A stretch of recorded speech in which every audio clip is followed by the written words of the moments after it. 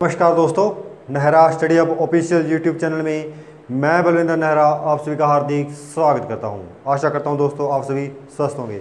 आज अपने एक और नई भर्ती की चर्चा करेंगे दोस्तों। चर्चा करने से पहले अगर आप मेरे चैनल से नए जुड़े तो चैनल को सब्सक्राइब कर लें और ज़्यादा से ज़्यादा दोस्तों के साथ चैनल को शेयर करें। मेरे टेलीग्राम चैनल को भी जाके ज्वाइन कर ले दोस्तों। डिस्क्रिप्शन में इसका लिंक दिया हुआ है। तो चलिए आज अपने प्रारंभ करते हैं। एक नई भर्ती के संपूर्ण जानकारी दोस्तों। आज बात करेंगे इंडियन नेवी चार्जमैन की जो न्यू रिक्वायरमेंट आई है, उसके बारे में, उसके प्रोसेस के बारे में बात करेंगे दोस्तों, इसके सिलेबस के बारे में अपनी बात करेंगे। कब से फॉर्म अप्लाई हो रहे हैं, संपूर्ण चर्चा आज अपने करने जा रहे हैं दोस्तों। तो देखिए, पहले तो आपको बता दूँ कि चार्जमैन क्या होता है दोस्तों, कि जैसे नाविक होती है, जैसे पनडुबी होती है, जो पनडुबी होती है, उसको जो रिपेयर का काम करते हैं, वो चार्जमैन करते हैं दोस्तों, उसके जो रिपेयरिंग का काम करते हैं, वो चार्जमैन इसका करते हैं। बात करेंगे इसकी टोटल ऑफ़ पोस्ट की दोस्तों। तो टोटल ऑफ़ पोस्ट की अगर मैं बात करूँ तो तीन सौ बेहतर पोस्टें हैं। टोटल ऑफ़ पोस्ट की तो तीन सौ बेहतर पोस्टें इसमें दी गई हैं दोस्तों।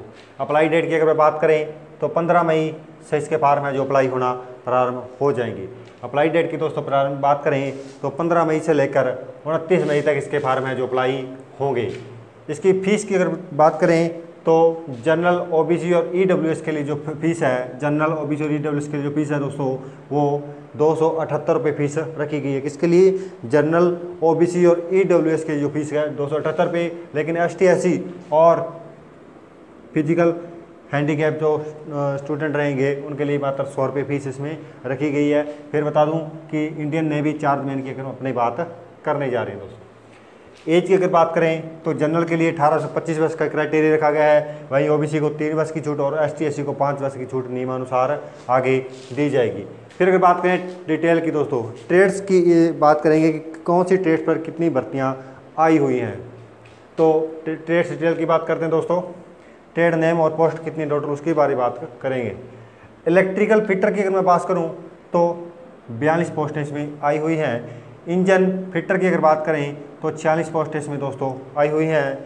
फ्लाटर की अगर बात करूँ तो 28 पोस्टें आई हुई हैं। सिप राइटर की बात करूँ तो 23 पोस्टें आई हुई हैं दोस्तों।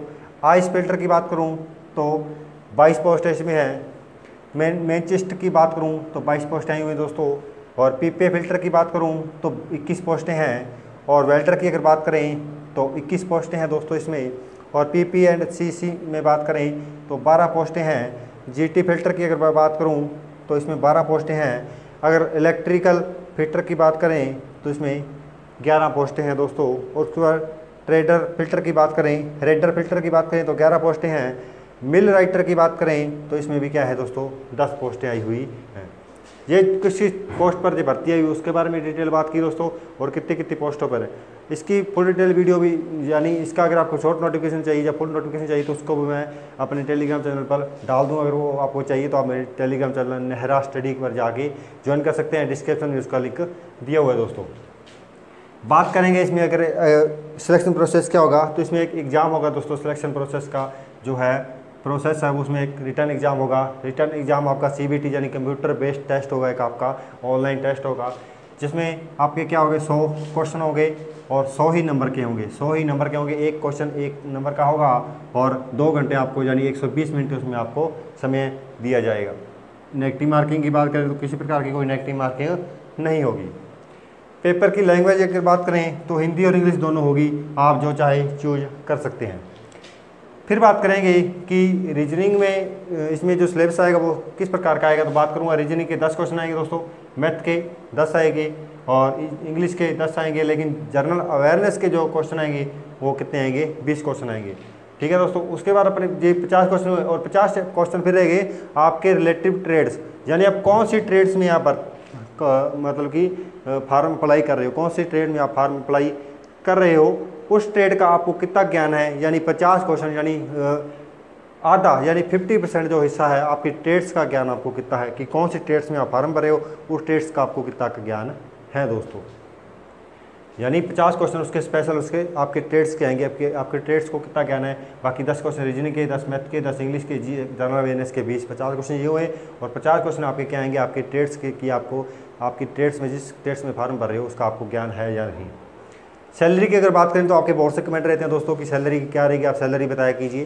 तो सैलरी इसमें बात करूँ तो पैंतीस पैंतीस हज़ार चार सौ से इसकी सैलरी सैलरी है जो स्टार्ट होगी।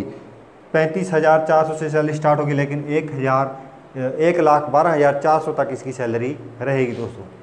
फिर आपका बहुत से कमेंट्स ये भी रहते हैं कि, सर, अगर अपन फार्म भरते हैं तो इसका एग्ज़ाम सेंटर कहाँ रहेगा? आपको एग्ज़ाम सेंटर की सूचना दूँ दोस्तों, आपको स्क्रीन पर शो भी हो रहा होगा, देखिए।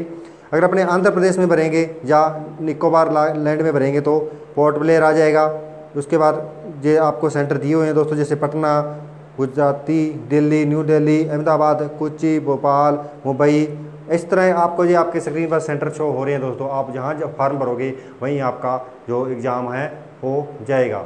तो आगे अपने इसके जो फार्म अप्लाई होगा दोस्तों, कैसे अप्लाई हो उसके बारे में भी अपनी वीडियो डाल देंगे। आज की वीडियो आपको कैसी लगी? अगर अच्छी लगी दोस्तों तो अपने दोस्तों के साथ क्लास को शेयर कीजिए। मेरे चैनल को ज़्यादा से ज़्यादा दोस्तों के साथ शेयर कीजिए। चैनल को सब्सक्राइब के लिए बेल आइकन दबा लीजिए, ताकि सबसे पहले आपको नई भर्ती अपडेट आपके मोबाइल पर मिल सके दोस्तों। तो आज के लिए इतना ही। क्लास अच्छी लगी हो तो लाइक करके जुड़ जाएँ दोस्तों। आज के लिए इतना ही। धन्यवाद।